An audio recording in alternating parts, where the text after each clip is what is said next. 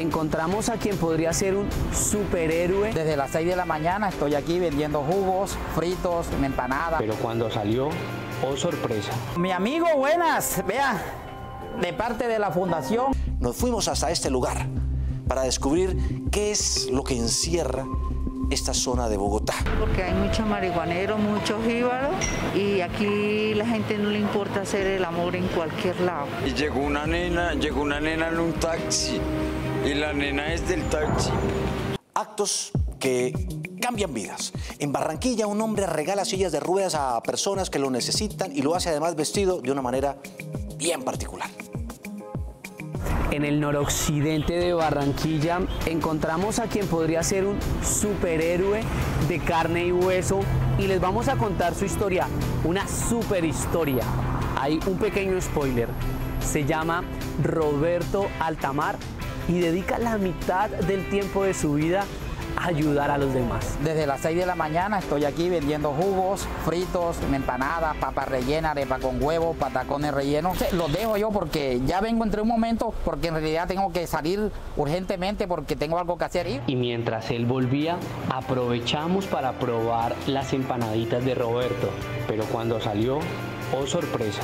Así es, Roberto se viste de payaso para regalar silla de ruedas y alegría a personas de bajos recursos. Este es parte del material que nosotros reciclamos para sostener la fundación, potes plástico también.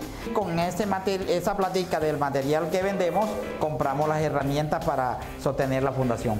Vamos entonces a las instalaciones de su fundación donde se hace todo el trabajo. Eso sí, requieren mantenimiento e inversión, pero ellos hacen lo que mejor pueden o lo que más pueden. Y es que ellos sacan la platica de cualquier lugar. Oh, mi amigo, buenas. Vea, de parte de la fundación Ojitos con Amor, le venimos a traer este obsequio de esta silla de rueda. Tranquilo, mi viejo. Tranquilo, que hay salud, que es lo más importante yo. Amigo, lo que pasa es que tengo una vaina muy jodida. Y me dice, papi, yo tengo un amigo. Pues, y yo te voy a, a, ver si te arreglan esa silla. Ellos llevan las sillas, y van a la llevaron. Y me le vino nuevecita, pintadita y tu bonita, bonita. Yo dije, ahora sí. Soy la mamita de Kendry Silvera, una niña que nació con encefaloceles. Y gracias a Dios conocimos por las redes sociales al señor Roberto gracias a Dios y gracias a él hemos tenido la silla de rueda de Kendrick que nos ha beneficiado mucho y nos ha ayudado mucho para poderla transportar. Esto lo hago porque siempre he querido darle un buen ejemplo a mis hijos para que mis hijos también eduquen a sus hijos. Uno como payaso, como recreacionista, uno es un espejo para los niños. Entonces, si yo soy recreacionista y yo quiero darle un buen ejemplo a los otros niños, a, los niños que yo le animo la fiesta, que yo les saco una sonrisa, entonces todo entra por casa. Entonces yo tengo que portarme bien para darle un ejemplo a los niños que están en la calle. La historia de Roberto se parece a una frase que dijo un tocayo de él, Roberto Gómez Bolaños, el famoso Chapulín Colorado. Él decía que un superhéroe no era el que no tenía miedos ni adversidades, sino el que las superaba y de paso ayudaba a los demás. Sigan apoyando a la Fundación Ojito con Amor. ¿Por qué? Porque esto es muy serio. Este es un programa que nosotros lo queremos de corazón. Ayúdenos para nosotros seguir ayudando. Dios me nos bendiga. ¿Quién lo fuera a creer? Una noche de angustia, de pánico en un parque de Bogotá. El parque de los hippies. Dos heridos, balacera se desmiente por parte de las autoridades que se trate de un ajuste de cuentas entre bandas dedicadas al microtráfico. Nos fuimos hasta este lugar para descubrir qué es lo que encierra esta zona de Bogotá. Siéntese y sorpréndase.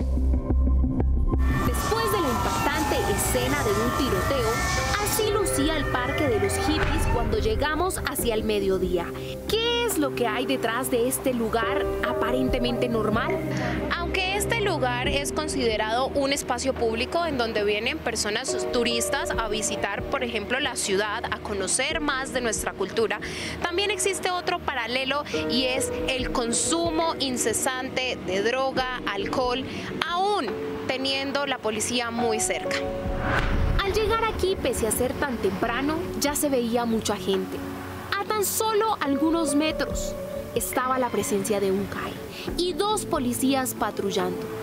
No sé si fue coincidencia o no, pero a los pocos minutos de ver la presencia de nuestra cámara ya parecía que había más policías que civiles. Pero según los vecinos, la cruda realidad de este sitio de drogas, alcohol, trifulcas, escándalos y hasta exhibiciones sexuales es lo que corre día tras día. Porque hay mucho marihuanero, mucho jíbaro y aquí la gente no le importa hacer el amor en cualquier lado.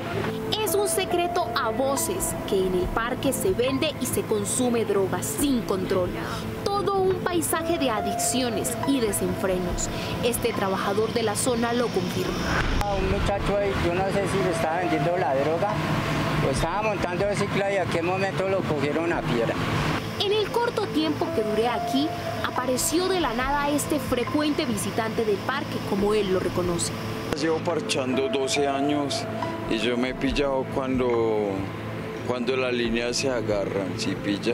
Según él, junto con su pareja, fueron testigos de primera mano del tiroteo de anoche, que dejó dos heridos, pese a que la policía enfatiza que no fue un ajuste de cuentas de bandas del microtráfico, este hombre me cuenta lo que vio.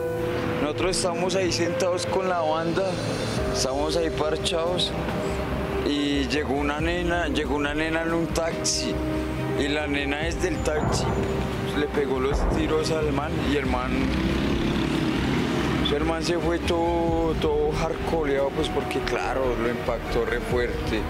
Es un lugar en donde los contrastes reinan sin límites. Gente que pasea sus mascotas, comerciantes, adictos, expendio de drogas y extranjeros que vienen a conocer la ciudad. What do you think about this environment? Yeah, more like hippies. Los que la policía que los coge, los requisa, se los lleva y vuelven y los sueltan. El calle está aquí, eh, sin embargo hay gente consumiendo mucho vicio. Yo nunca había estado en este parque popular de los hippies, en la tradicional zona de Chapinero, un sector de cachacos, de raca mandaca. Pero lo que más me sorprendió fue este letrero que prohíbe el consumo de drogas. ¿Será acaso un adorno decorativo de la democracia de la diversidad?